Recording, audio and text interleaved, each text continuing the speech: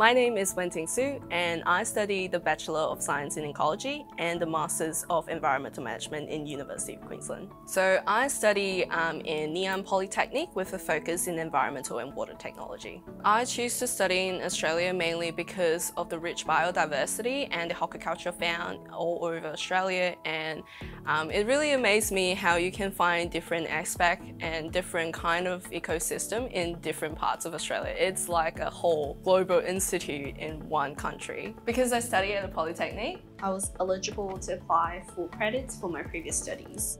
I got about 24 units off, so I did my bachelor's in less than two years. Um, the original course with honours would be four years, so it's like quite a significant ex uh, exemption for me. So I did a master straight away and skipping the honours. I think my advice to any poly student who wants to come to UQ is just enjoy yourself and enjoy the journey. It's okay to feel small in the really, really big world because um, being at UQ really opened your eyes and it's okay to make mistakes. It's okay to change major because I did a few times. It's okay to not know what you want because that's the journey that UQ can provide you.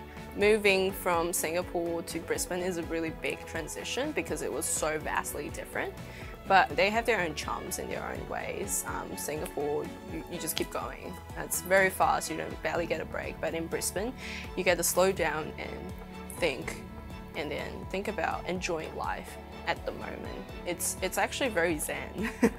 and um, I really do encourage anyone who are thinking about studying overseas to just go out there and see the world for what it is.